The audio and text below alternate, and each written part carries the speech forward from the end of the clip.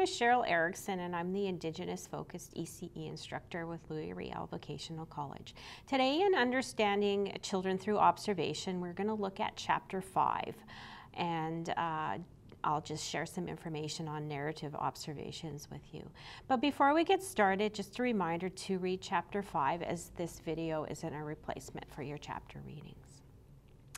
And so the term narrative observation, what does that mean? And, and basically it's just a, a written um, document uh, that tells a story. So it, it includes um, a sequence of events um, that maybe are happening in the environment or happening with a specific child that kind of tells a story uh, about the child uh, or within that program. And so uh, it just gives you information on what is happening, uh, whether it's a behavioral uh, type of type of documentation, again, what happens before um, the actual event and after um, to best help you meet the needs of, of children within your program. And so these types of observations, uh, narrative observations, are again uh, based on facts uh, that are occurring at specific times. Um, and it's um, reliable evidence uh, that you can verify um, in your observations so a lot of our observations that we're doing in, in the early years with children are based on narrative types of, of information. It is a really great way uh, to describe behaviors. Again, you're being uh, objective and uh, recounting that sequence of events um, from actual facts that are happening uh, in the moment. And uh, as the observer, you're recording uh, what behavior is important um, and you're using uh, some type of um, narrative type of tool.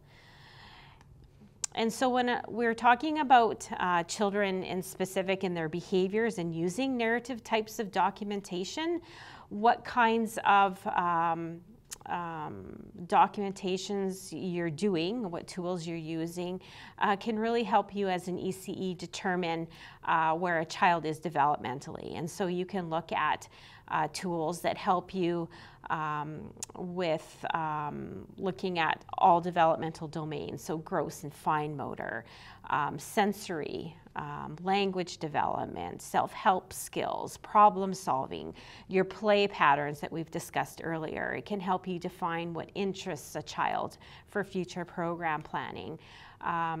If children are developing uh, social skills and have they developed empathy. And so, again, we're looking at um, developmentally appropriate practices and developmental milestones. So that's just a few of the examples of how you can observe children or what types of observations you can do uh, to determine where the children are developmentally. And I've attached this developmental milestones tool uh, in um, in uh, chapter four, I believe. And so this just gives you a glance of where children should be um, at developmentally um, for the different ages. So again, keep in mind that, you know, children are all developing um, uh, at their own rates. Um, development is, is kind of unique to, to all children. And so at, say, for example, um, a year of age, um, most children do walk at 12 months, but that doesn't mean all children walk at 12 months. So there should be a progression um, when it comes to, say, walking. So children, before they walk, they learn to crawl, they learn to pull themselves up on furniture, and they can balance themselves and take a few steps.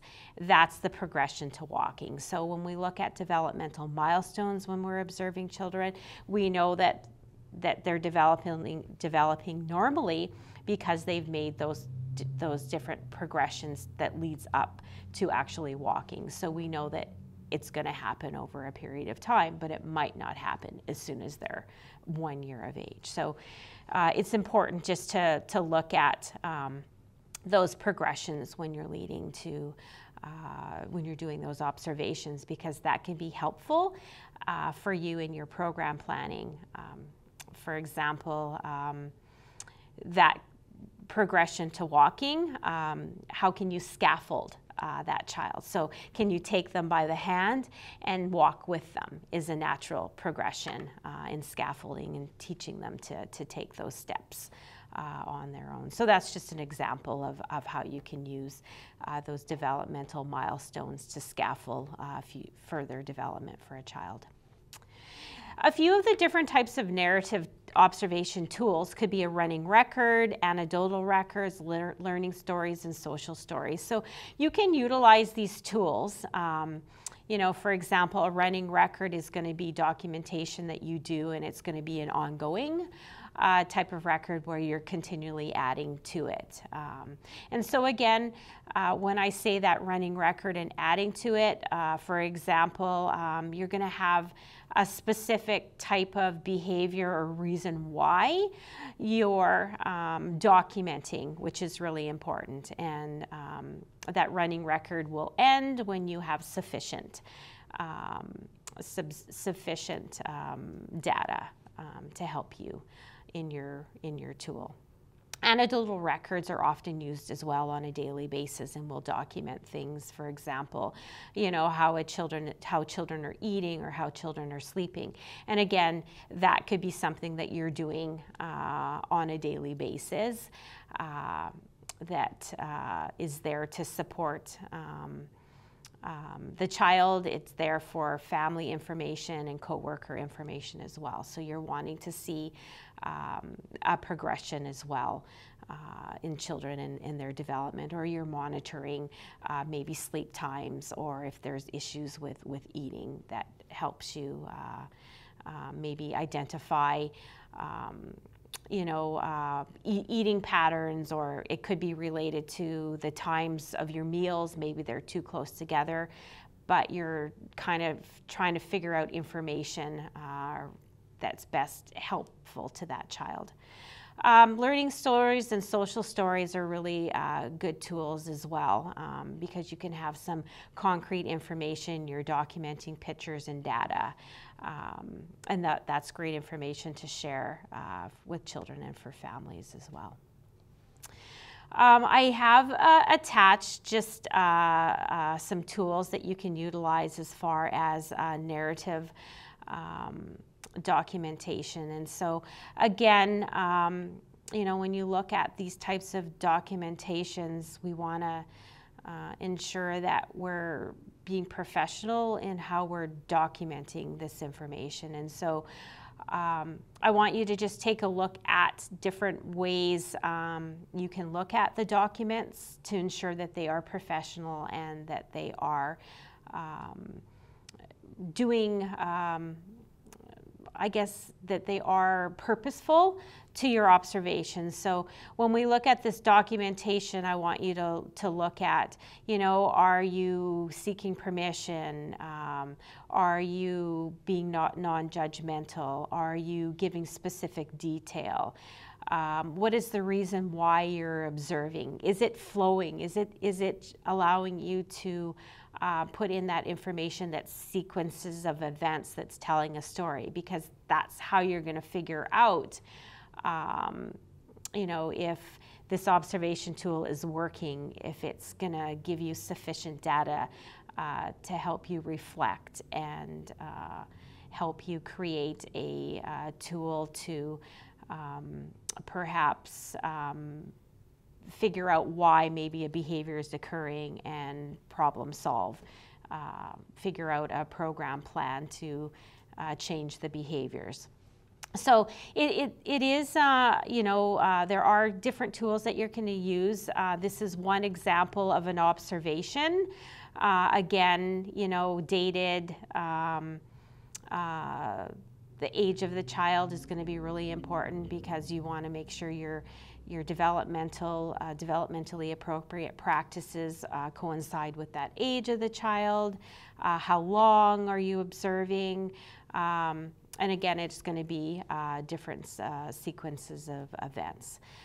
Um, so, in conclusion uh, to this chapter, there is a video.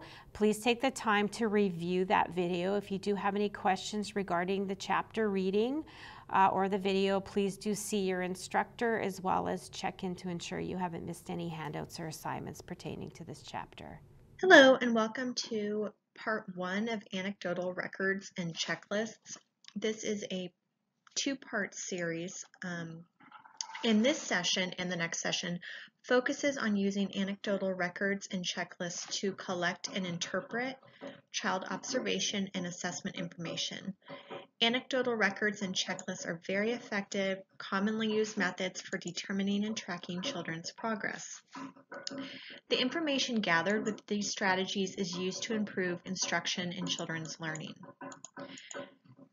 Hopefully, and during this session, you will increase your knowledge and your skills in writing anecdotal records, recording information using checklists, and analyzing and understanding anecdotal information in checklists.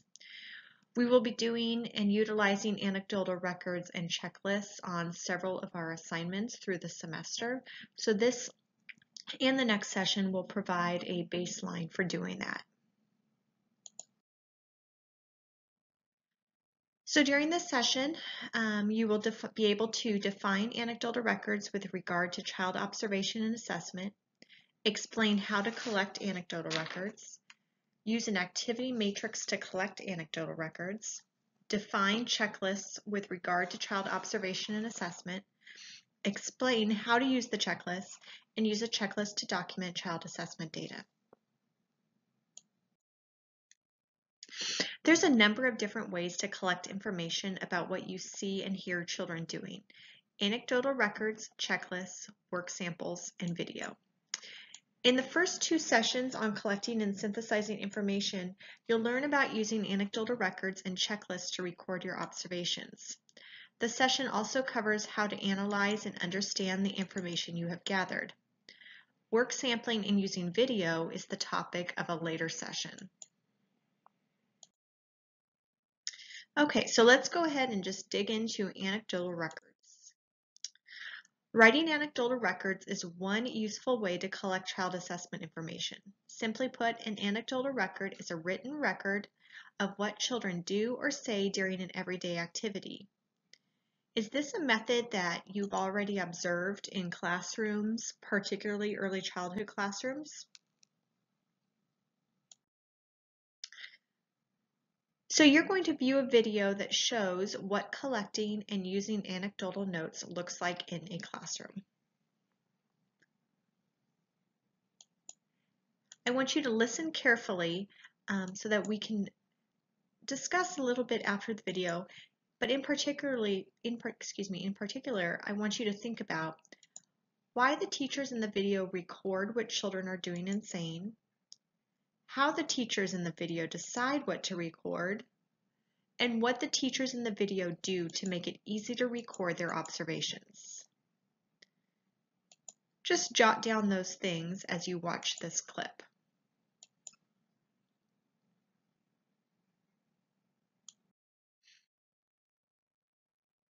Okay, so think for a moment about what you heard from the classroom teachers in the video. What did the teachers in the video what did the teachers in the video explain about why they record what children are doing and saying? What did the teachers in the video explain about how they decide what to record? And what did the teachers in the video suggest to make it easy to record observation?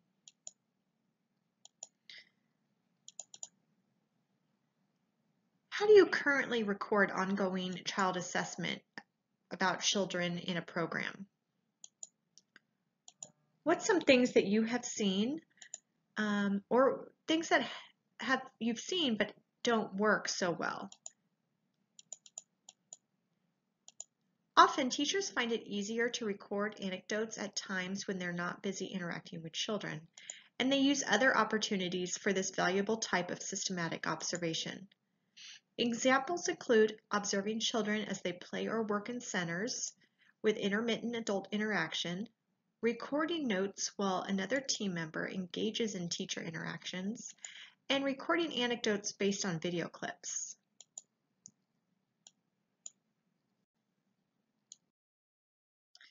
Several basic elements should be included in an anecdotal record.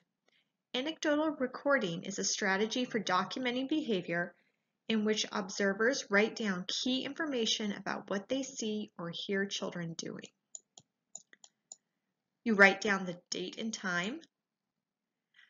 It's important to vary the times of observations as some children may do best at certain times of the day.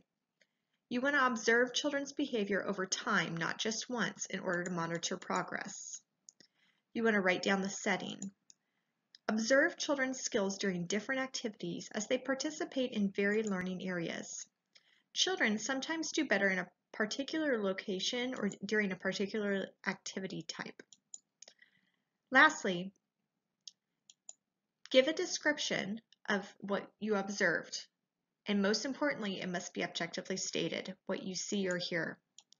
The next slide offers some tips for writing objective descriptions. It's important to be objective so that notes are as accurate and valid as possible. Guard against allowing personal beliefs, feelings, or experiences to interfere with the objectivity. Focus on the curriculum areas and the child's goals being observed. Remember to be objective in what is documented in an anecdotal record. Write down facts rather than opinions or assumptions, and avoid making a judgment or guessing. Here's some tips about being sure anecdotal records are objective. Ask yourself, can I see it? Can I hear it? Would another person agree about what occurred? To be accurate, observations should be recorded right away or as soon as possible to guard against forgetting. Notes must be accurate as they will be used to make important instructional decisions. What can you do to be sure that you record observations promptly in your classroom? This is an example of an anecdotal record. The date, time, and setting are included. October 4th at 9.20 in the morning at the snack table. The description is objective and focuses on curriculum areas being observed. The note shows Fran's progress in the area of expressive language. Fran said, please pass the crackers to request um, she needed them. Fran's progress in the fine motor skill area was also observed. She was able to use a knife for spreading and opening a small milk carton.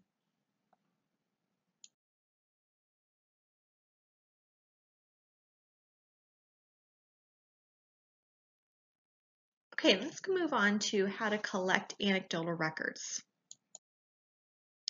It's important to be realistic about recording observations. Teachers cannot expect to be able to record everything that occurs in their program or classroom.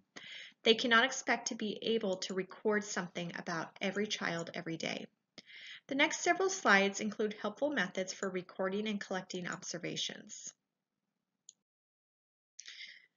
This slide shows one easy method for collecting anecdotal records or notes. Place a clipboard with notepaper or cards in various areas of the room. The teachers and assistants can write down their records as they observe children. When writing materials are available where they are likely to be needed, it is easier to pause for a moment to note what children are doing and saying. The presence of paper or note cards also serves as a reminder to document observations. Here's another way to collect anecdotal records. The teacher and aide use sheets of labels to write down their observations of children's behavior.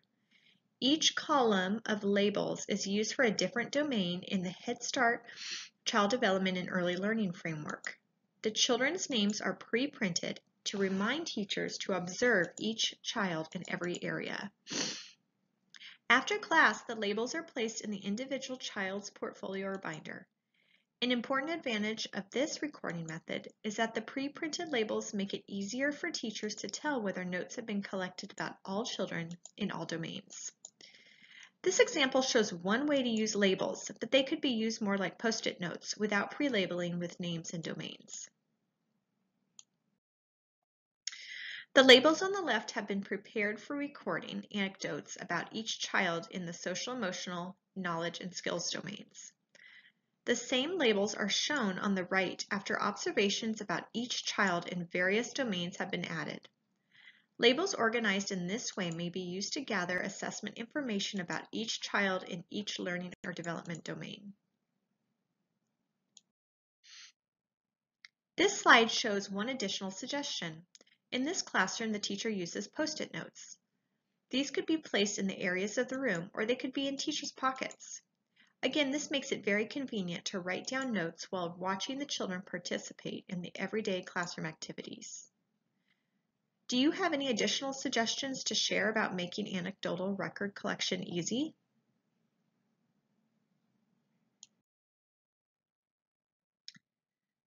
Okay, so we're going to watch a video clip and write an anecdotal record based on the video clip, and then we're going to check the anecdotal record. Go ahead and play the clip and create your anecdotal record as you are observing.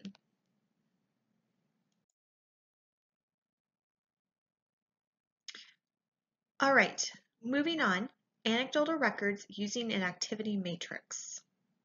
We're going to come back to the anecdotal records that you created based off the video clip.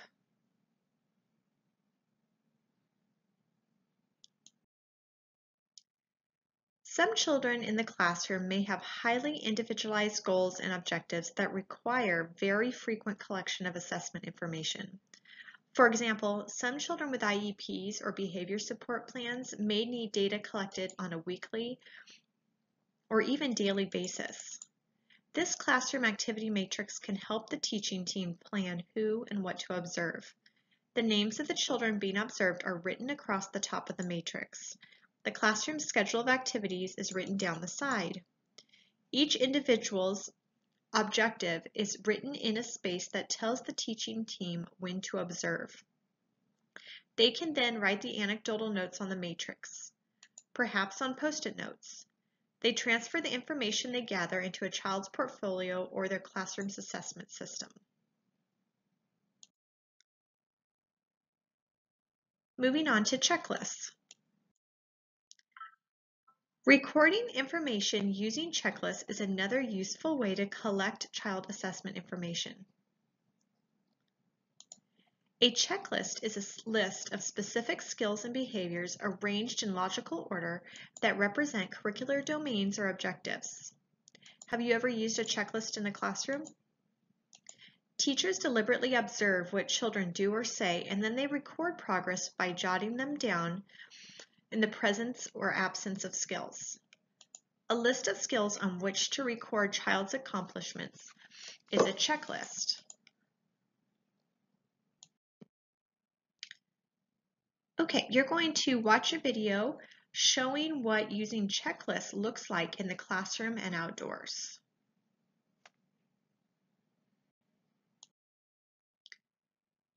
Okay, so take a moment and think about what you heard from the classroom teachers in the video. What did the teachers in the video explain about why they use checklists to record children's skills? And what did the teachers in the video explain about why they decide which skills to include? What did the teachers in the video suggest about team members using checklists while they interact with children?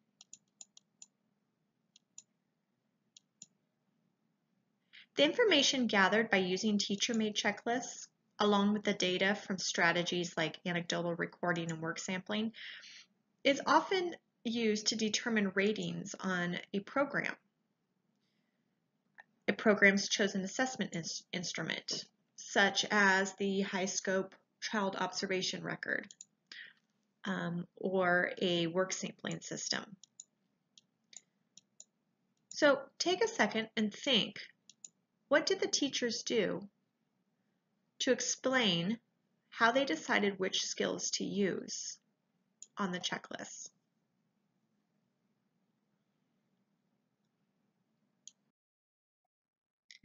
Using checklists can be an easy way to document and collect data on skills that children are developing in the classroom. Teachers can create their own checklists to represent specific domains that fit the needs of individual children. For example, a teacher could create a checklist for monitoring the progress of learning numbers. By creating a well-developed checklist, a teacher can easily check off numbers that children identify, which will help the teacher determine whether or not progress has been made.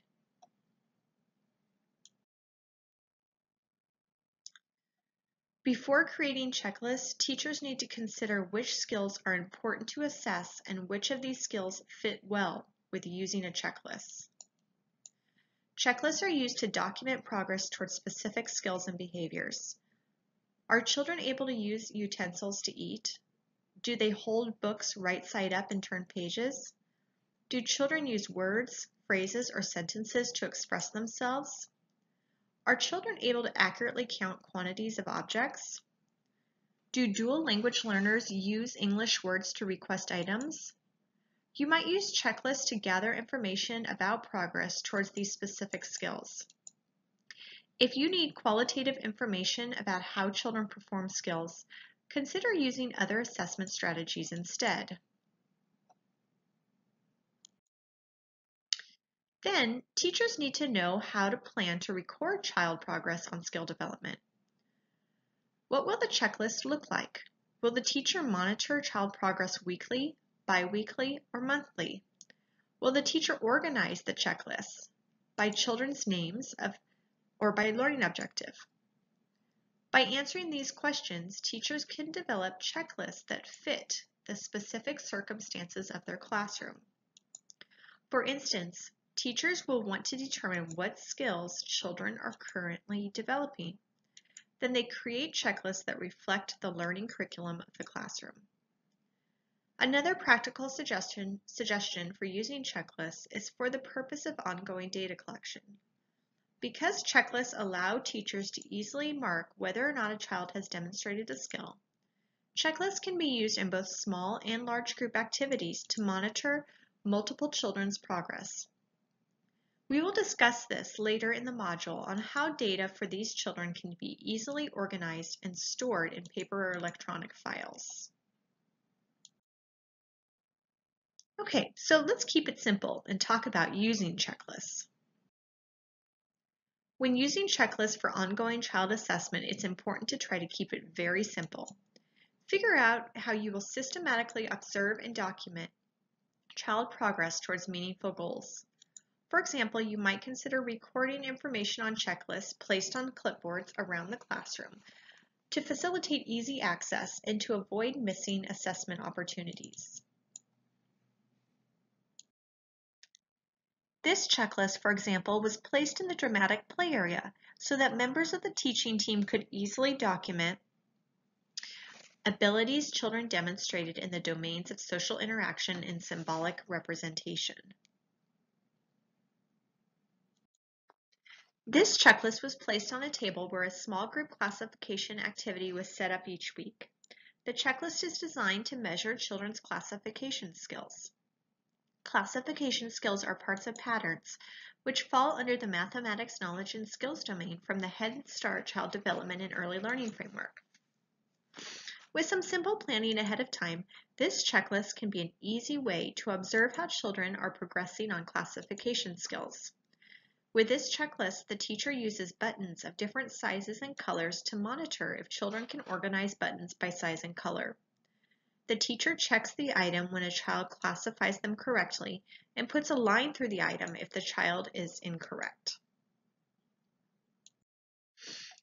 Checklists can also be used to monitor the progress of small groups of children who are working towards common goals. This checklist is used to monitor the progress of a small group of children who have been identified as needing extra help in literacy skills. They're learning the letters that make up their names, so this checklist was designed to monitor uppercase and lowercase letter identification. Letter identification is part of alphabet knowledge, which falls under the Literacy Knowledge and Skills domain from the Head Start Child Development and Early Learning Framework. This is an easy checklist for teachers to use because the teachers can have children's names already listed on the checklist to record data each week. Finally, you will want to create checklists that are short, clear, and objective so they can be completed with ease. Some checklists ask users to record a simple yes or no to indicate whether each skill, milestone, knowledge objective, or early learning standard has been accomplished. Here's an example of a checklist that was created to monitor children prog children's progress on gross motor skill development. The teacher was specifically interested in evaluating whether or not children were able to throw, catch, and kick a ball. These skills fall under the physical development and health domain from the Head Start Child Development and Early Learning Framework. Based on what is shown here, the children have not mastered throwing, catching, and kicking a ball. Therefore, the teacher should continue to monitor the children's progress weekly until the children demonstrate these skills. Other checklists allow users to record the extent to which a skill has been achieved. For example, indicators of frequency like always, sometimes, or never, or quality might be used. Tallies are another recording method commonly used for checklists. So in this session, we talked about um, defining what an anecdotal record is with regard to child observation and assessment. We talked about how to collect anecdotal records. We talked about how to use an activity matrix to collect anecdotal records. We defined checklists with regard to child observation assessment. We talked about how to use checklists with ease and how to use a checklist to document child assessment data.